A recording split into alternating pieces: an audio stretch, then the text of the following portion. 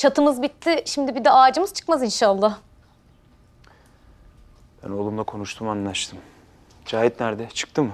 Patronundan azar işitmemek için erken çıktı. Sakın karısından kaçmak için erkenden çıkmış olmasın ha? Ne dersin?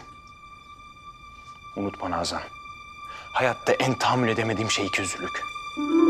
Sofrada gülen bir yüz, kapalı kapılar ardından fitne saçamaz. Benim evimde kimse, ama kimse yüzüne maske takamaz.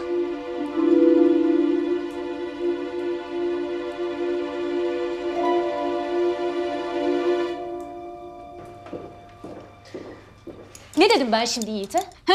Takıldım sadece. Kötü bir şey mi söyledim? Aman. Oğluna laf ettik diye bozuldu bu kadar. Çünkü içten içe kendi de biliyor kim artık tepesine çıkardığını. Annesinin boşluğunu doldurmak için uğraşıyor yenge. Ne yapsın? Annesinin boşluğu mu? Ay seni duyan da İclal'i anne zannedecek yani Yaren. Ya Allah aşkına İclal ne zaman annelik yaptı bu çocuğa ya? Onun bütün işi gücü Yiğit'in peşinde dolanıp yok hamilelik vücudumu bozdu. Aman efendim emzirirsem oram buram sarkar. Yok ben doğum yaptım diye kocam benden uzaklaştı diye dövünmek. Ne oldu? Sus pus oldu. Teyzenin korkusuna haklısın diyemiyorsun tabii. Ah o teyzen yok mu o teyzen? Kendi kızıyla abinin başını yaktı resmen. Ana yarısıymış. Yenge.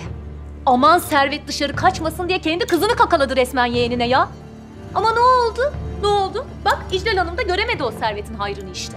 Ya bırak Allah aşkına Yaren ya konuşturma beni. İclal yaşarken anaydı sanki. Kör ölür badem gözlü olur. Benim kızım ölmedi Nazan. İclal'im ölmedi. Unuttun mu? Ölmedi.